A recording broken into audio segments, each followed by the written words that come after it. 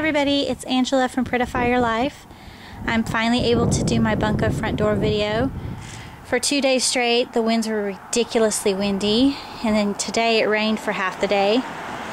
But now I'm able to finally get out here and shoot the video and let you see it before it gets taken down tomorrow.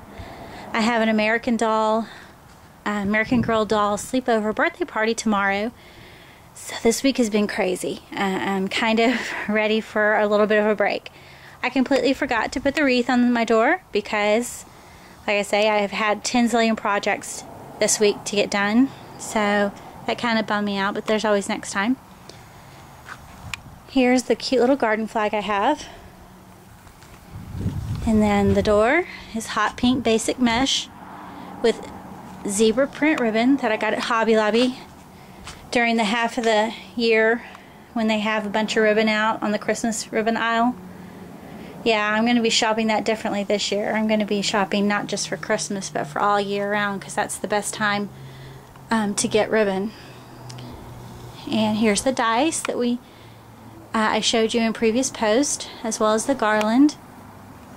And there's just some silver um, floral picks that I have. I'm starting to get a stockpile of floral picks that I keep in different colors. I'll also be shopping for floral picks differently when they start putting those out in the summer.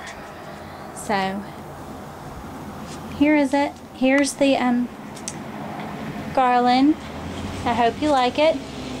It made the girls smile and giggle. They thought it was fun. Um, and we had a really good evening. And for the second month in a row, I was the biggest loser. I lost the most, 14 out of 18 games, which is pretty pathetic. But it was still a lot of fun. So I hope this inspires you to do something fun for a girls' night out and a game night at your house. Thanks a lot, and thanks for watching.